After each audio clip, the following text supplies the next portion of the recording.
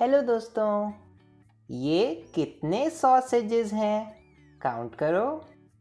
One two three four five six seven eight nine nine sausages तो हमने nine को circle करा।